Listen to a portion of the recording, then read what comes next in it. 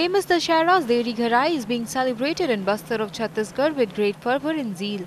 The 75 days long festival is known as Mahaparva and hundreds of people gather here to perform the rituals. Goats and fishes are offered to Lord in this festival which is one of the biggest example of secularism as people of all caste and creed attend this festival. शुभ काम जिससे करते हैं मैंने कोई भी शुभ काम होता है वो तेरस के दिन वो डेली गड़ाई किया जाता है और उसी के साथ उनका वो जो कार्यक्रम है पूर्ण करके संपन्न the main attraction of this festival is the chariot made of wood and by the tribesmen of the region. The Dussehra in Bastar is different from the way it is celebrated across the nation. It has nothing to do with Lord Rama's return to Ayodhya after decimating Ravana.